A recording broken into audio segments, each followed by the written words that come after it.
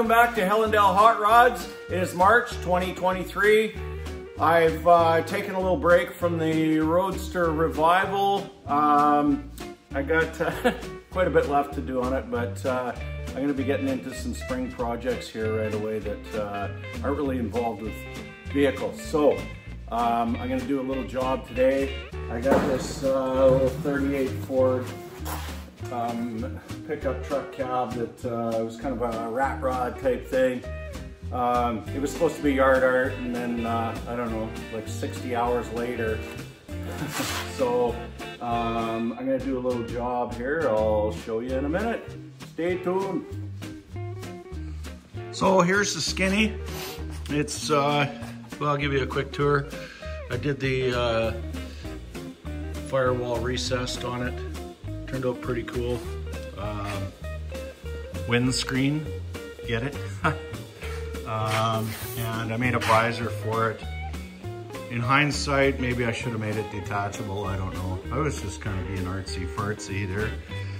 Um, I did, whoop, I did do a three inch chop. It worked out pretty good. The doors open and close very well, but um, the top was oil can to start with like I said, this was gonna be yard art and then it kind of turned into a little experiment. Um, I do have a 37 that I want to uh, restore or, or do something with. So this was kind of my practice one.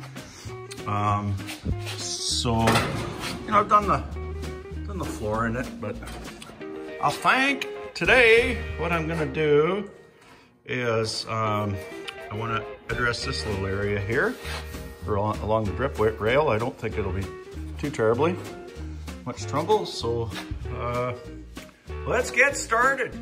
All right, I cleaned it up a little bit in here. Um, yeah, this is a flange weld. I usually do a butt weld, but like I say, it was uh, it was kind of a, a little bit of a, we'll say, experiment. So um, I was lucky enough. I had a piece that was in a 90 already. I want to get this kind of, this is a little bit rounded in here, so, and then, uh, all right, I got that little, I have that little 90 in the brake now. Just to give her a little tweaky tweak. I'll probably have to do the rest with the uh, hammer and dolly. There, that should just about do it.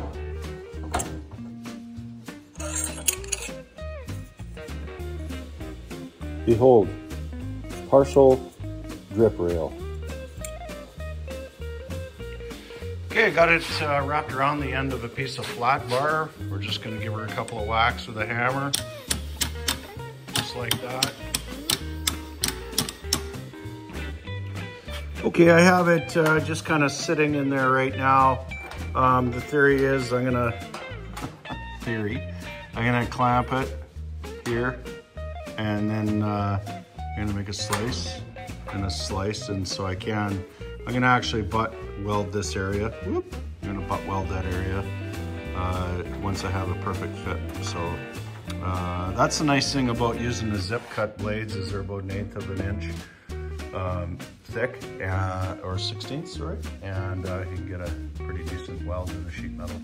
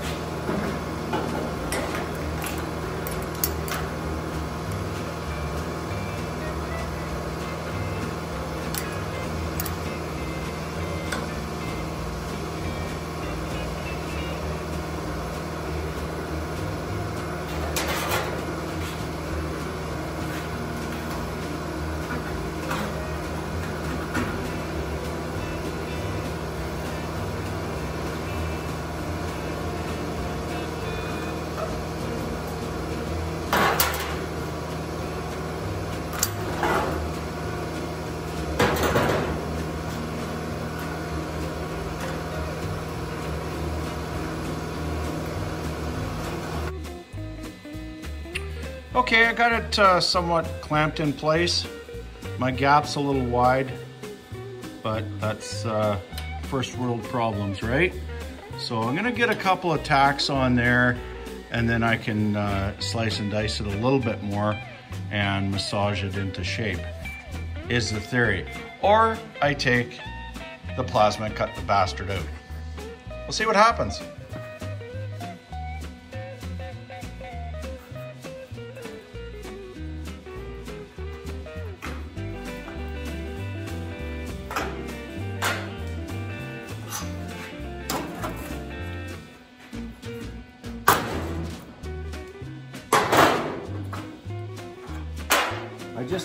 Put a little piece of copper in there so my weld doesn't stick to the wrong thing.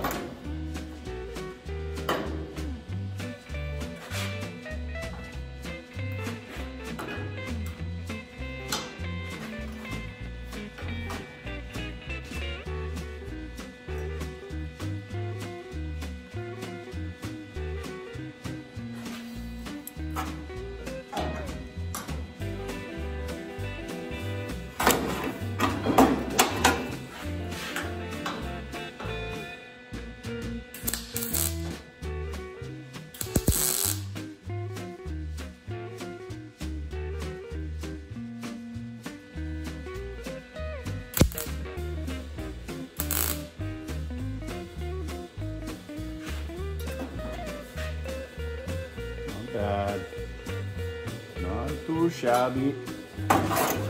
Tack. it's not going well, but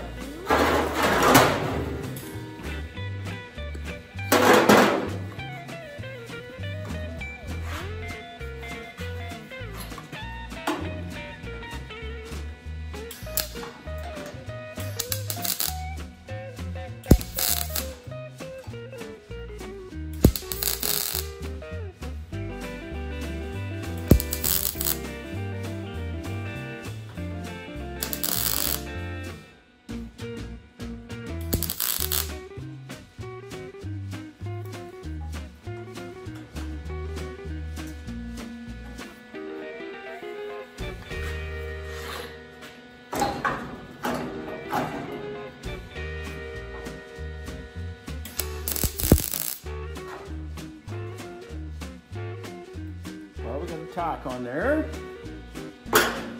Very good.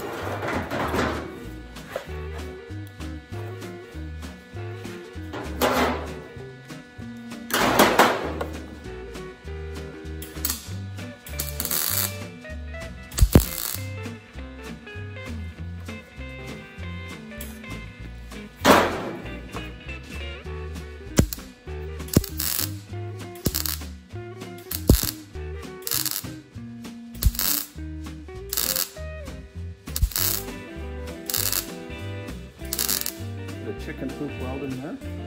Okay. That's uh, an actual term, chicken poop welding.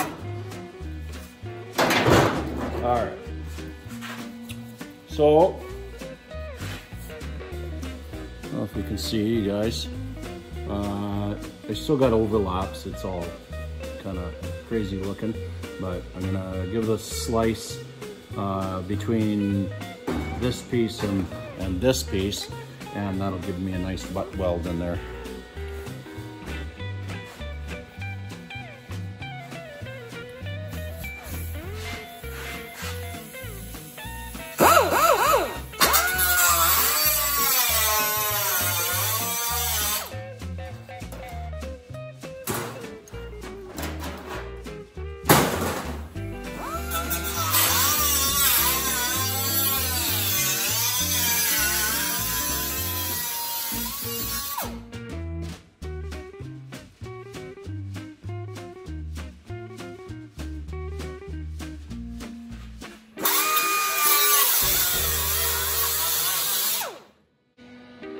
Well, believe it or not, I have it in place. It's, uh, you know, pretty straight. Gonna trim it a little bit. Uh, terrible welds, I know, but I'm not quite done yet. So what I had done um, previously is I put this, like when you, when you chop one of these uh, cabs, because it's rounded, you gotta cut it into three pieces because uh, when you drop the top down onto the, the A and Bs, it just, uh, well, it doesn't really fit. So it, because it's too small, so you gotta widen it and then put a strip in the middle.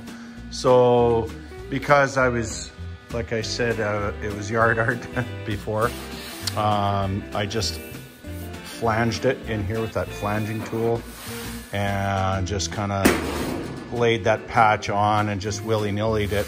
So what I'm gonna do now is everything's in place. I can run a nice line along here and theoretically I will be able to do a nice butt weld along there and it should look uh, decent, I would hope.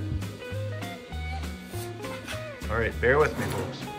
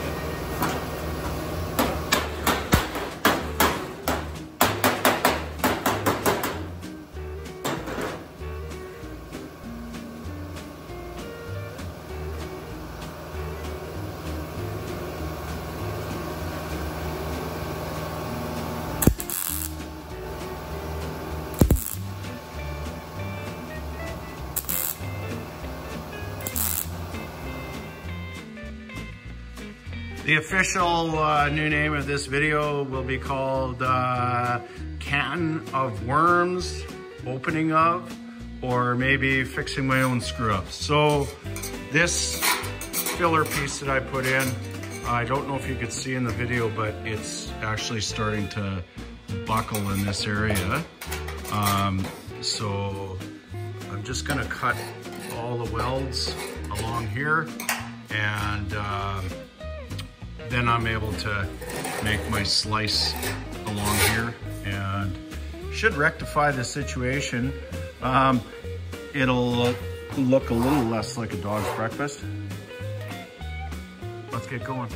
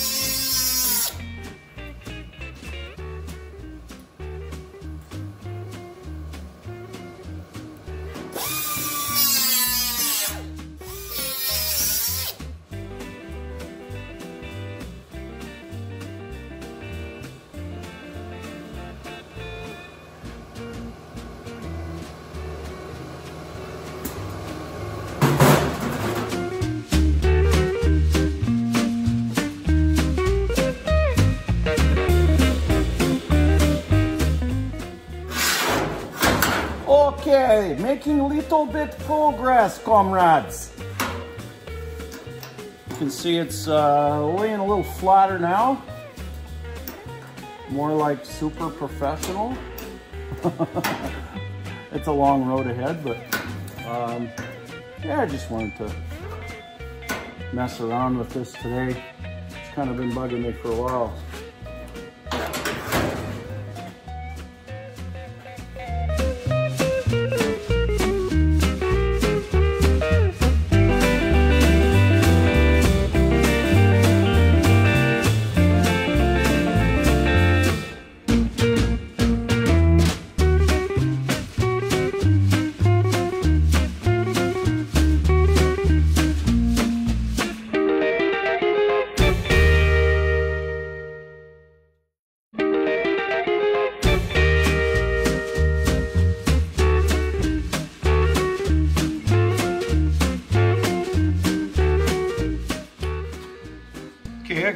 Uh, tacked in. I got uh, it nice and flush here. This is, the flange is still in there. I, I didn't get rid of that, but um, with a little bit of filler, uh, once all the welds are completed, it should look really good from a mile away. Anyways, um, you can see how much of a gap there was there. Like it was, you know, 18th, of, you know, sorry, 18th of an inch. It was an eighth of an inch higher. So, um, yeah, I'm pretty happy with this. It's been a project that I kind of walked away from quite a while ago. Um, so, uh, yeah. Okay, so now I'm going to uh, attempt to get rid of the oil canning. um, yeah, well, I don't know what I was thinking on this one, but anyways, this this patch is all tilted, but um, before I go any further, I want to get the shape where it should have been from mm, factory-ish. So uh, what I'm going to do is I've already raised it with this screw jack type thing. And then uh, I think in the other areas, I will, uh, you know, put some props in there, some two by fours or whatnot, or maybe a short person. I was able to get a little more shape out of the roof now. Um, the dents are gone where I need them to be gone. I sound unsure, don't I? But uh, let me get some light in there. Maybe you can see. So I got a couple of uh, boards holding it up and uh, should work okay. So I'm gonna just continue what I was doing before and uh, I'm gonna keep, whoop, gonna keep slicing and we'll push that down. I'm gonna have to mess around with it a little bit. The welds have already started to let go um, but uh, I guess I gotta just kind of massage it as I go. It's the only massage I'm gonna be getting today. Well, the roof fix is coming along okay. Um, just uh, just kind of trying to get the, you know, three panels level. Um, I got a pretty good curve on the, the back here this way. It's just there's a little bit of a dip here, so I have dip here, sorry. Uh, so I just have to kind of go underneath and push up and get it to line up. Um, it's never gonna be perfect. I know that, but uh, it was just bugging me being, you know, kind of half-assed for all that time. So, she'll continue.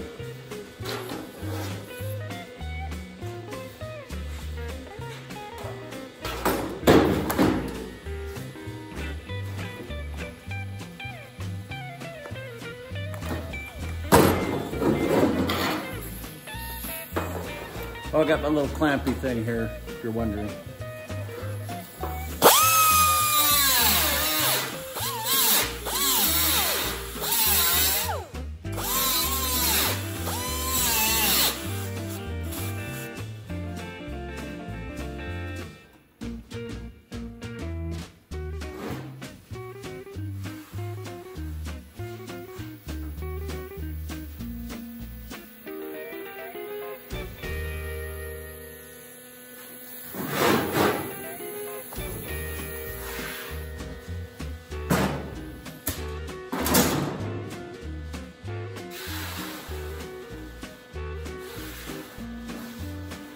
Well, it looks like I'm gonna have to go inside and move my jack over a little bit towards the middle just to get it looking sweet.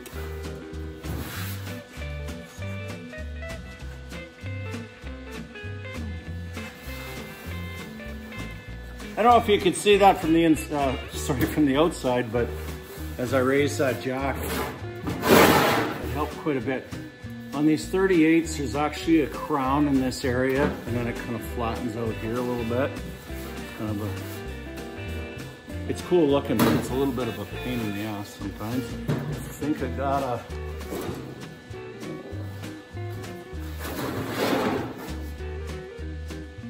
I think some kid jumped on the thing at some point in its life. Or an adult. Could be a drunk adult, right?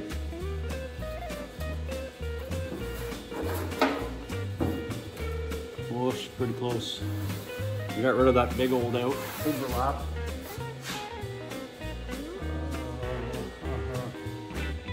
Yeah, it's gotta go up a little bit more.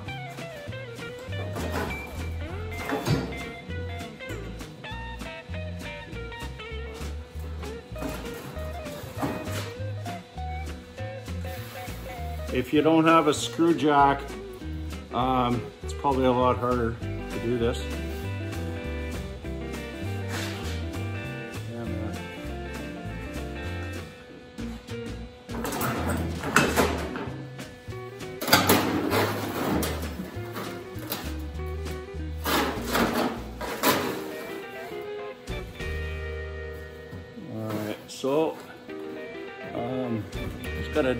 Trims there. Coming. Okay,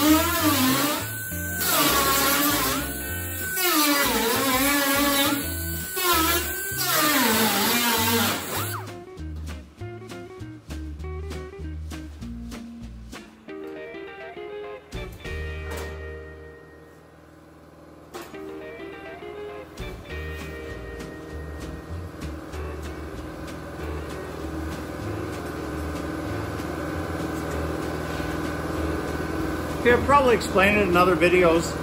These little guys just slip in between the panels and then this acts like a T on the inside. Um, kind of like having a third hand actually.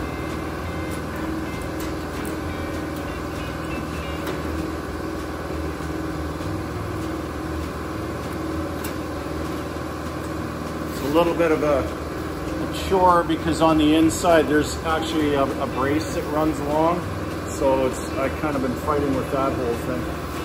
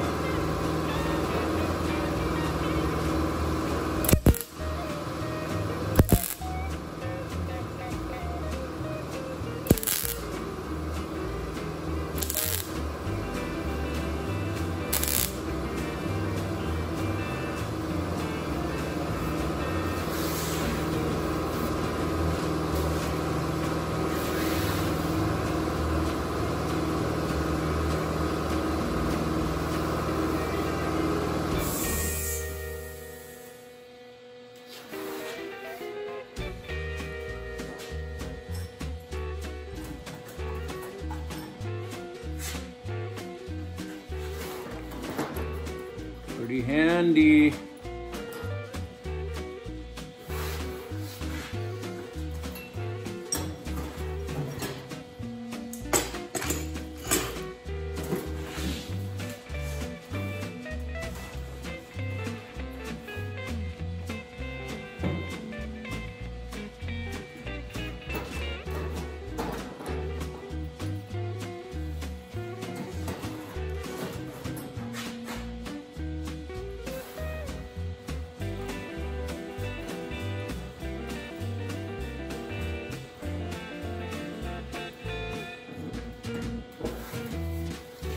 In hindsight, I probably should have ran the strip through the English wheel to get a little bit of shape to it, but oh man, this thing's this thing's got a shape of its own, I must say.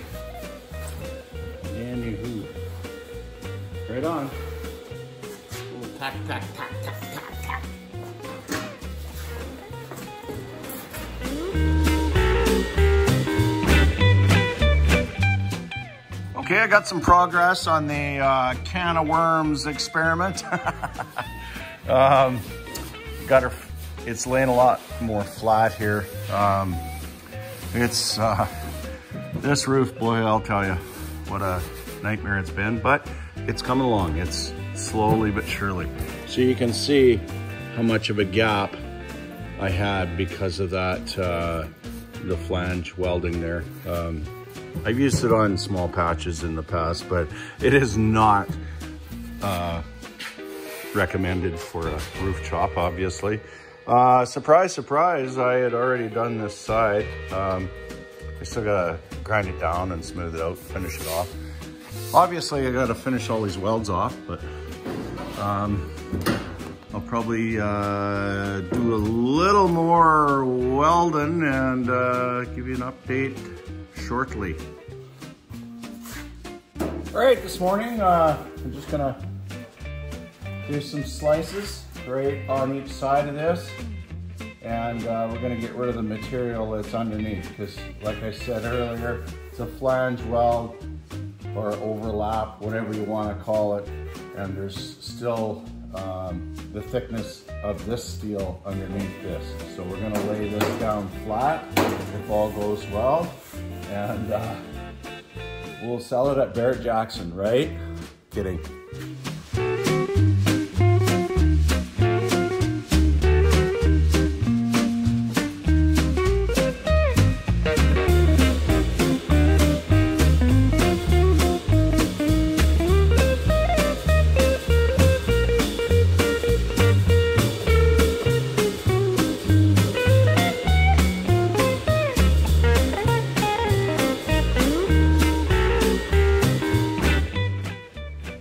After all that speed cutting there, uh, I'm, I'm not too happy with the fit, but um, you can see it. This The old piece sits nice and flush in there, but uh, I got some kind of crappy gaps, so I'm just gonna make a new piece and be done with it. Um, but uh, just thought I'd show you guys kind of the trials and tribulations that uh, one might go through when uh, fixing a piece of crap. Okay, well, that's about it for this uh, lovely piece of metal.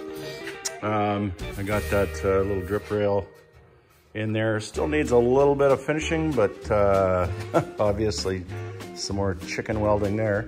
Um, but uh, I just wanted to share this one with you. It's uh, it's not my best work at all, but um, you know, I think we all have these earlier projects around and I just wanted to finish it up a little bit better. So I got uh, the whole strip along there done. Uh, this middle split one, it's still uh, kind of a, a, piece on top. So I still have to deal with that, but uh, I've run out of time on this one for this, this year. So we'll hit her again another time. All right, that's it for uh, this installment of Fixing My Old Junk. Um, thanks everybody for watching my videos and uh, subscribing to my channel. Remember, hit the subscription button. It just, all it means is you've subscribed to my channel. It does not cost you a dime. It just alerts you when I've created a new video.